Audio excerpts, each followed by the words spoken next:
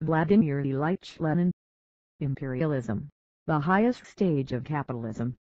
The popular outline 1. Concentration of production and monopolies the enormous growth of industry and the remarkably rapid concentration of production in ever larger enterprises are one of the most characteristic features of capitalism. Modern production censuses give most complete and most exact data on this process. In Germany, for example, out of every 1,000 industrial enterprises, large enterprises, i.e., those employing more than 50 workers, numbered 3 in 1882, 6 in 1895 and 9 in 1907, and out of every 100 workers employed, this group of enterprises employed 22, 30 and 37, respectively. Concentration of production, however, is much more intense than the concentration of workers, since labor in the large enterprises is much more productive. This is shown by the figures on steam engines and electric motors. If we take what in Germany is called industry in the broad sense of the term, that is, including commerce, transport, etc., we get the following picture. Large-scale enterprises, 30,588 out of a total of 3,265,623, that is to say, 0.9%. These enterprises employ 5,700,000 workers out of a total of 14,400,000 i.e., 39.4%. They use 6,600,000 steam horsepower out of a total of 8,800,000 i.e., 75.3%, and 1,200,000 kilowatts of electricity out of a total of 1,500,000 by E, 77.2% less than one hundredth of the total number of enterprises utilize more than three-fourths of the total amount of steam and electric power. 2,970,000 small enterprises employing up to five workers constituting 91% of the total, utilize only 7% of the total amount of steam and electric power. Tens of thousands of huge enterprises are everything, millions of small ones are nothing. In 1907, there were in Germany 586 establishments employing 1,000 and more workers, nearly one-tenth 1,380,000 of the total number of workers employed in industry, and they consumed almost one-third 32% of the total amount of steam and electric power. One as we shall see, money capital and the banks make this superiority of a handful of the largest enterprises still more overwhelming, in the most literal sense of the word, i.e., Millions of small, medium and even some big proprietors are in fact in complete subjection to some hundreds of millionaire financiers. In another advanced country of modern capitalism, the United States of America, the growth of the concentration of production is still greater. Here statistics single out industry in the narrow sense of the word and classify enterprises according to the value of their annual output in 1900 for large-scale enterprises with an output value at $1 million and over, numbered 1,900 out of 216,180, i.e., 0.9%. These employed 1,400,000 workers out of 5,500,000 i.e., 25.6% and the value of their output amounted to $5 billion $600 million out of $14 billion $800 million, i.e., 38%. Five years later, in 1909, the corresponding figures were 3,060 enterprises out of 268,491, i.e., 1.1% employing 2 million workers out of 6,600,000 i.e., 30.5% with an output value at $9 billion out of $20 billion $700 million, i.e., 43.8%. See footnote to almost half the total production of all the enterprises of the country was carried on by one hundredth part of these enterprises. These 3,000 giant enterprises embrace 258 branches of industry, from this it can be seen that at a certain stage of its development concentration itself, as it were, leads straight to monopoly, for a score or so of giant enterprises can easily arrive at an agreement, and on the other hand, the hindrance to competition, the tendency towards monopoly, arises from the huge size of the enterprises. This transformation of competition into monopoly is one of the most important if not the most important phenomena of modern capitalist economy, and we must deal with it in greater detail. But first we must clear up one possible misunderstanding. American statistics speak of 3,000 giant enterprises and 250 branches of industry, as if there were only a dozen enterprises of the largest scale for each branch of industry. But this is not the case.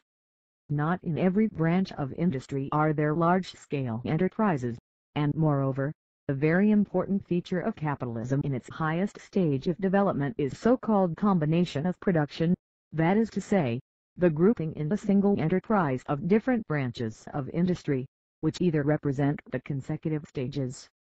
In the processing of raw materials for example, the smelting of iron ore into pig iron, the conversion of pig iron into steel, and then, perhaps, the manufacture of steel goods or are auxiliary to one another for example, the utilization of scrap, or of byproducts, the manufacture of packing materials, etc.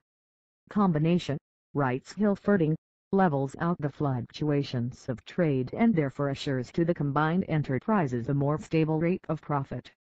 Secondly, combination has the effect of eliminating trade. Thirdly, it has the effect of rendering possible technical improvements, and, consequently, the acquisition of super profits over and above those obtained by the pure I.E. non-combined enterprises. Fourthly, it strengthens the position of the combined enterprises relative to the pure enterprises, strengthens them in the competitive struggle in periods of serious depression, when the fall in prices of raw materials does not keep pace with the fall in prices of manufactured goods.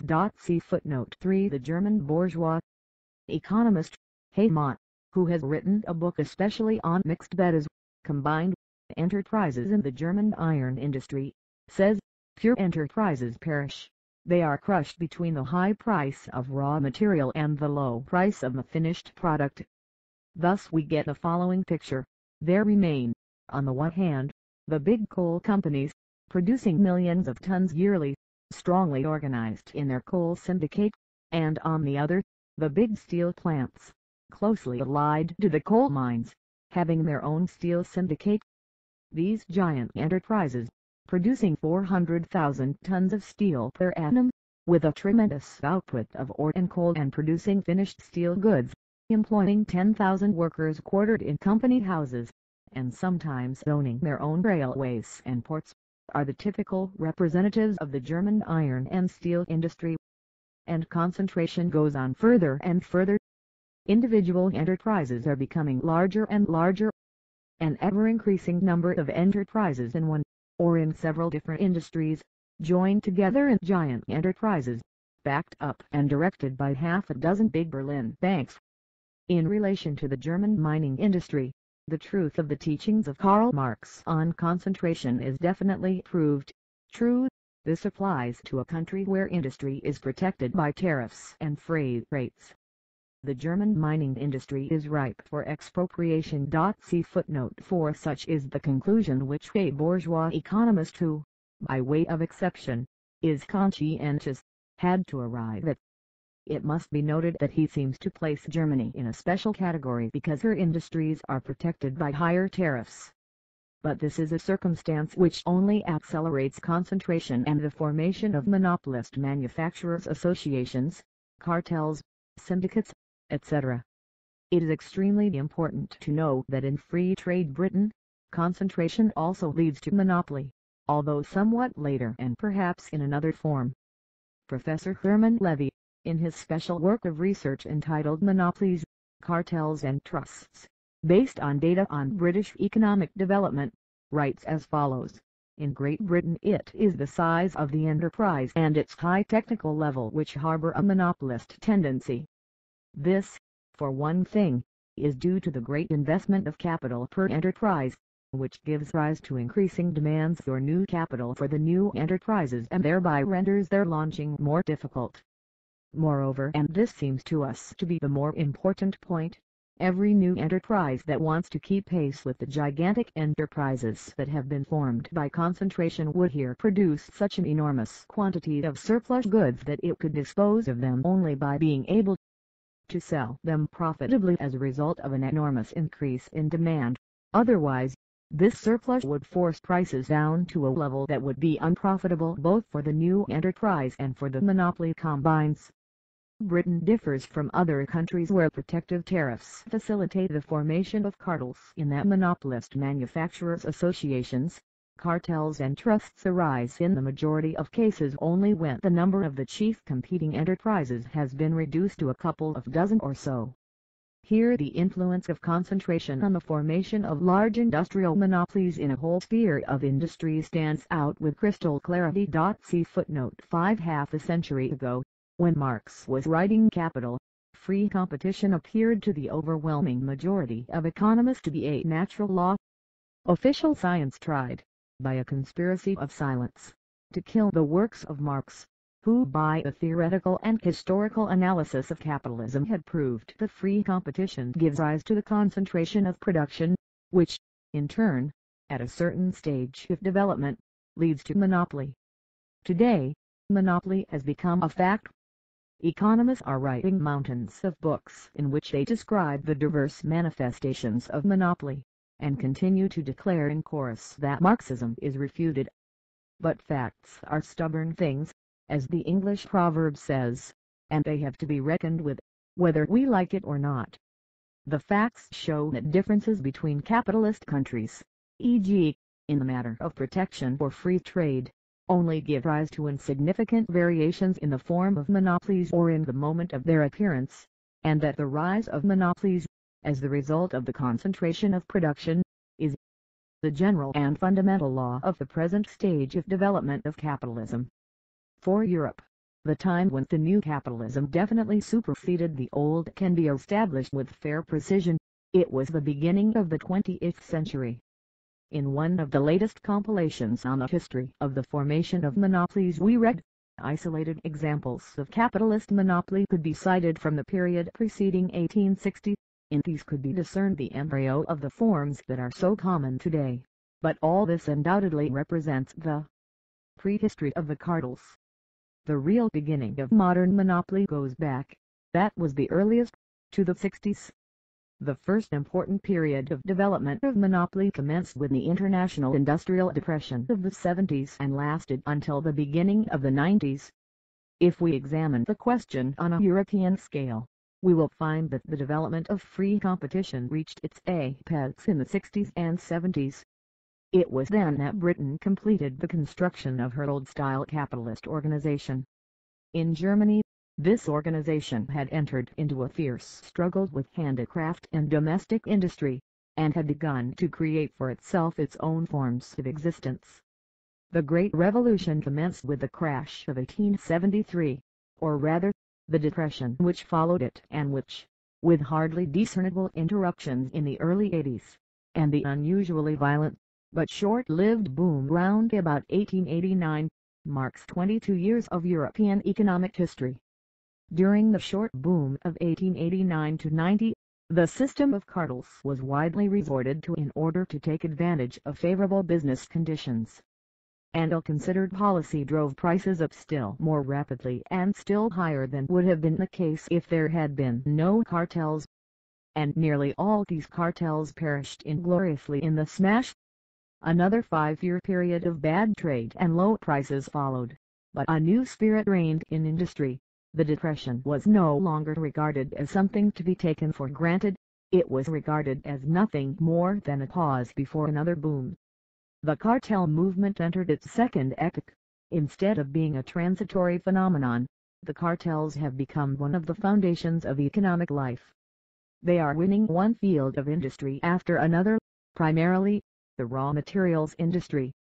At the beginning of the 90s the cartel system had already acquired in the organization of the Coke Syndicate on the model of which the Coal Syndicate was later formed a cartel technique which has hardly been improved on. For the first time the great boom at the close of the 19th century and the crisis of 1900-03 occurred entirely in the mining and iron industries at least under the aegis of the cartels. And while at that time it appeared to be something novel, now the general public takes it for granted that large spheres of economic life have been, as a general rule, removed from the realm of free competition. See footnote 6 Thus, the principal stages in the history of monopolies are the following 1 1860-70, the highest stage, the apex of development of free competition. Monopoly is in the barely discernible, embryonic stage. To after the crisis of 1873, a lengthy period of development of cartels, but they are still the exception. They are not yet durable, they are still the transitory phenomenon. 3. The boom at the end of the 19th century and the crisis of 1900-03. Cartels become one of the foundations of the whole of economic life. Capitalism has been transformed into imperialism. Cartels come to an agreement on the terms of sale, dates of payment, etc. They divide the markets among themselves. They fix the quantity of goods to be produced. They fix prices. They divide the profits among the various enterprises, etc. The number of cartels in Germany was estimated at about 250 in 1896 and at 385 in 1905, with about 12,000 firms participating. See footnote 7 But it is generally recognized that these figures are underestimations. From the statistics of German industry for 1907 we quoted above, it is evident that even these 12,000 very big enterprises probably consume more than half the steam and electric power used in the country. In the United States of America, the number of trusts in 1900 was estimated at 185 and in 1907, 250. American statistics divide all industrial enterprises into those belonging to individuals, to private firms or to corporations. The latter in 1904 comprised 23.6%, and in 1909, 25.9%, i.e., more than one-fourth of the total industrial enterprises in the country. These employed in 1904, 70.6%, and in 1909, 75.6%, i.e., more than three-fourths of the total wage earners. Their output at these two dates was valued at $10,900 million and $16,300 million, i.e., 73.7% and 79.0% of the total, respectively. At times cartels and trusts concentrate in their hands 7 or 8 tenths of the total output of a given branch of industry. The Rhine-Westphalian Coal Syndicate, at its foundation in 1893, concentrated 86.7% of the total coal output of the area, and in 1910 it already concentrated 95.4%. See footnote 8 A monopoly so created assures enormous profits, and leads to the formation of technical production units of formidable magnitude. The famous Standard Oil Company in the United States was founded in 1900 it has an authorized capital of $150 million. It issued $100 million common and $106 million preferred stock. From 1900 to 1907 the following dividends were paid on the latter, 48, 48, 45, 44, 36, 40, 40, 40% in the respective years, i.e., in all, $367 million. From 1882 to 1907, out of total net profits amounting to $889 million, $606 million were distributed in dividends, and the rest went to reserve capital. See footnote 9 In 1907 the various works of the United States Steel Corporation employed no less than 210,180 people. The largest enterprise in the German mining industry, Gelsenkirchener Bergwerks Gesellschaft, in 1908 had a staff of 46,048 workers and office employees. See footnote 10 In 1902, the United States Steel Corporation already produced 9 million tons of steel. See footnote 11 Its output constituted in 1901, 66.3%, and in 1908, 56.1 percent of the total output of steel in the United States. See footnote 12 The output of ore was 43.9% and 46.3%, respectively. The report of the American Government Commission on Trusts states, their superiority over competitors is due to the magnitude of their enterprises and their excellent technical equipment. Since its inception, the Tobacco Trust has devoted all its efforts to the universal substitution of mechanical for manual labor. With this end in view it has bought up all patents that have anything to do with the manufacture of tobacco and has spent enormous sums for this purpose. Many of these patents at first proved to be of no use, and had to be modified by the engineers employed by the trust. At the end of 1906, Two subsidiary companies were formed solely to acquire patents. With the same object in view, the trust has built its own foundries, machine shops and repair shops. One of these establishments, that in Brooklyn, employs on the average 300 workers. Here experiments are carried out on inventions concerning the manufacture of cigarettes, cheroots, snuff, tinfoil for packing, boxes, etc. Here, also, inventions are perfected. See footnote 13 Other trusts also employ what are called development engineers whose business it is to devise new methods of production and to test technical improvements. The United States Steel Corporation grants big bonuses to its workers and engineers for all inventions that raise technical efficiency or reduce cost of production. See footnote 14 In German large-scale industry, e.g., in the chemical industry, which has developed so enormously during these last few decades. The promotion of technical improvement is organized in the same way. By 1908 the process of concentration of production had already given rise to two main groups which, in their way, were also in the nature of monopolies. At first these groups constituted dual alliances of two pairs of big factories, each having a capital of from 20 to 21 million marks on the one hand, the former Meister factory in Höchst and the Cassella factory in Frankfurt am Main, and on the other hand, the aniline and soda factory at Ludwigshafen and the former Bayer factory at Elberfeld. Then, in 1905, one of these groups, and in 1908 the other group, each concluded an agreement with yet another big factory the result was the formation of two triple alliances each with a capital of from 40 to 50 million marks. And these alliances have already begun to approach each other, to reach an understanding about prices, etc. See footnote 15 Competition becomes transformed into monopoly. The result is immense progress in the socialization of production. In particular, the process of technical invention and improvement becomes socialized. This is something quite different from the old free competition between manufacturers, scattered and out of touch with one another, and producing for an unknown market. Concentration has reached the point at which it is possible to make an approximate estimate of all sources of raw materials for example, the iron ore deposits of a country and even, as we shall see, of several countries, or of the whole world. Not only are such estimates made, but these sources are captured by gigantic monopolist associations. An approximate estimate of the capacity of markets is also made, and the associations divide them up amongst themselves by agreement. Skilled labor is monopolized, the best engineers are engaged, the means of transport are captured railways in America, shipping companies in Europe and America, Capitalism in its imperialist stage leads directly to the most comprehensive socialization of production.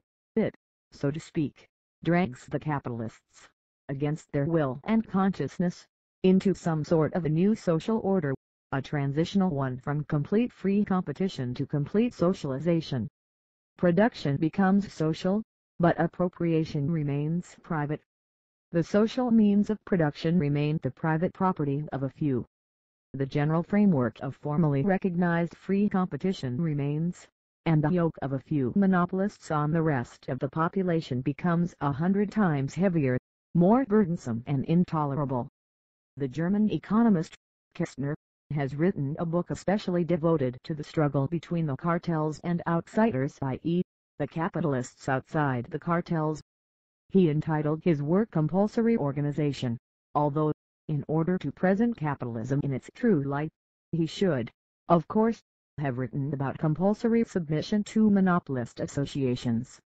It is instructive to glance at least at the list of the methods the monopolist associations resort to in the present day, the latest, the civilized struggle for organization. One stopping supplies of raw materials. One of the most important methods of compelling adherence to the cartel to stopping the supply of labor by means of alliances i.e., of agreements between the capitalists and the trade unions by which the latter permit their members to work only in cartelist enterprises. 3 stopping deliveries, for closing trade outlets, 5 agreements with the buyers, by which the latter undertake to trade only with the cartels, 6 systematic price cutting to ruin outside firms, i.e., those which refuse to submit to the monopolists, Millions are spent in order to sell goods for a certain time below their cost price. There were instances when the price of petrol was thus reduced from 40 to 22 marks, i.e., almost by half. 7. Stopping credits, 8. Boycott. Here we no longer have competition between small and large, between technically developed and backward enterprises. We see here the monopolists throttling those who do not submit to them, to their yoke to their dictation. This is how this process is reflected in the mind of a bourgeois economist, even in the purely economic sphere, writes Kestner. The certain change is taking place from commercial activity in the old sense of the word towards organizational speculative activity. The greatest success no longer goes to the merchant whose technical and commercial experience enables him best of all to estimate the needs of the buyer, and who is able to discover and, so to speak, awaken the latent demand. It goes to the speculative genius who knows how to estimate, or even only to sense in advance, the organizational development and the possibilities of certain connections between individual enterprises and the banks. Translated into ordinary human language this means that the development of capitalism has arrived at a stage when, although commodity production still reigns and continues to be regarded as the basis of economic life, it has in reality been undermined and the bulk of the profits go to the geniuses of financial manipulation. At the basis of these manipulations and swindles lies socialized production, but the immense progress of mankind, which achieved this socialization, goes to benefit the speculators. We shall see later how on these grounds reactionary, petty bourgeois critics of capitalist imperialism dream of going back to free peaceful and honest competition. The prolonged raising of prices which results from the formation of cartels, says Kestner, has hitherto been observed only in respect of the most important means of production, particularly coal, iron and potassium, but never in respect of manufactured goods. Similarly, the increase in profits resulting from this raising of prices has been limited only to the industries which produce means of production.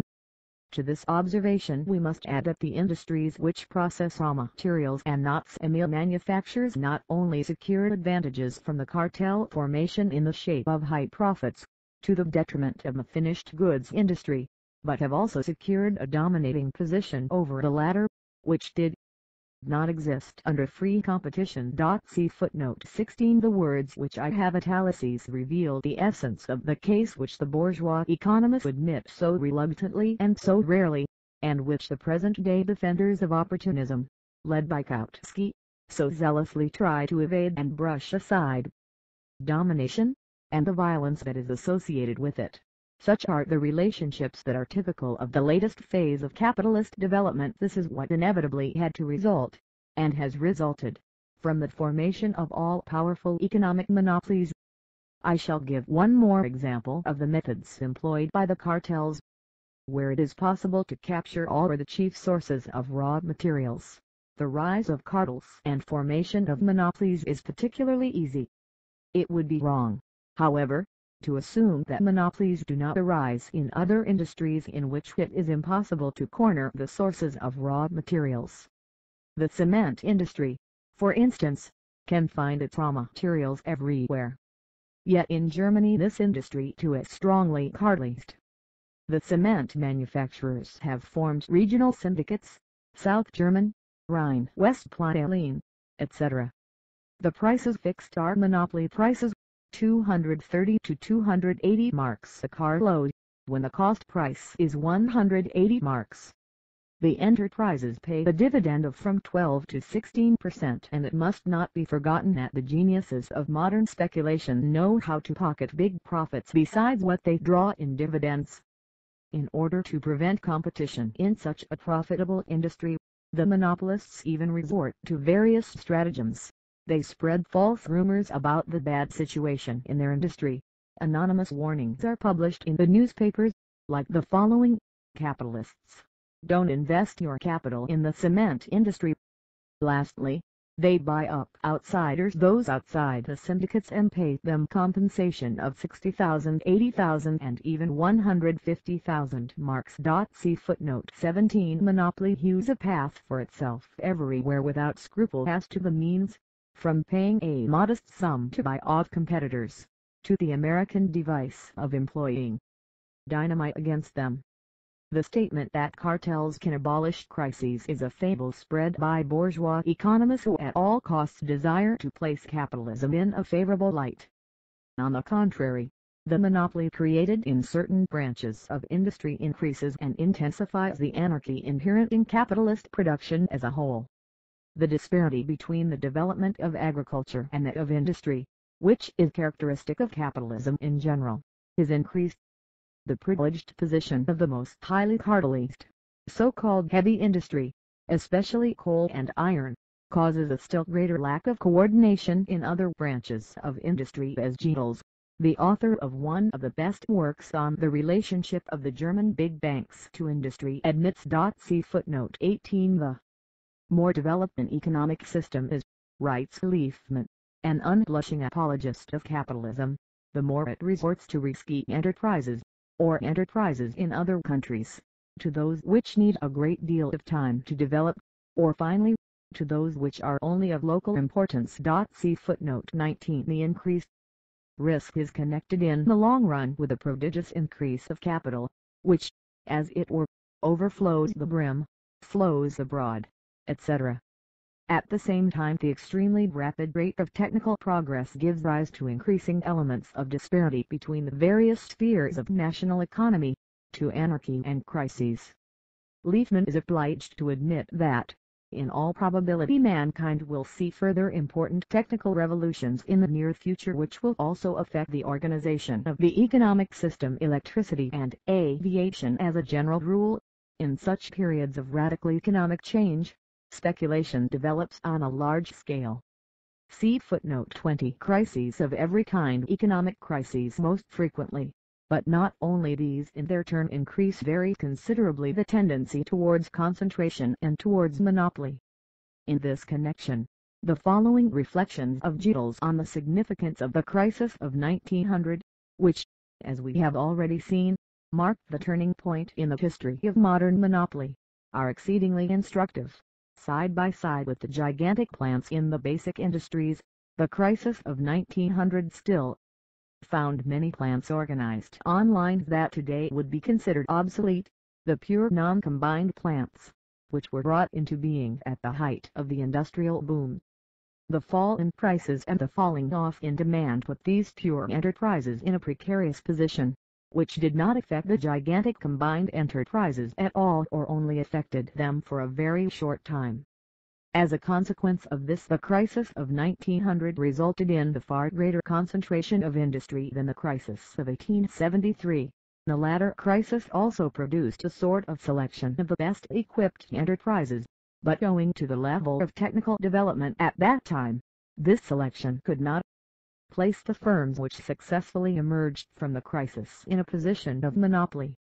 Such a durable monopoly exists to a high degree in the gigantic enterprises in the modern iron and steel and electrical industries owing to their very complicated technique, far-reaching organization and magnitude of capital, and, to a lesser degree, in the engineering industry, certain branches of the metallurgical industry, transport, etc. See footnote 21 Monopoly. This is the last word in the latest phase of capitalist development. But we shall only have a very insufficient, incomplete, and poor notion of the real power and the significance of modern monopolies if we do not take into consideration the part played by the banks